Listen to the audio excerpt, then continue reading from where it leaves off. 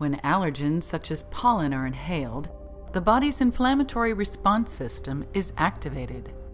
Antibodies on activated mast cells will bind with the allergens. This causes the mast cells to release histamine granules, which flood the nasal passages, causing redness, swelling, and congestion. The histamine granules travel down the nasal mucosa, affecting the mucociliary transport system. Histamine acts on the glands, nerves, and blood vessels to produce more mucus.